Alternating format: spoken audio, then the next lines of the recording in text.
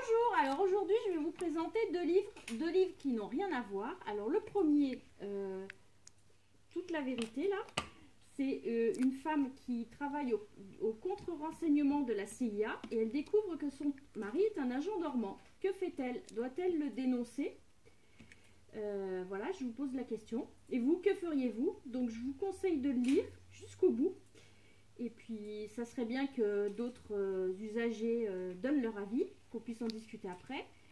Et là, bah, c'est totalement contradictoire. C'est la crise de la quarantaine. C'est simple et facile à lire. Et puis, bah voilà, bonne lecture.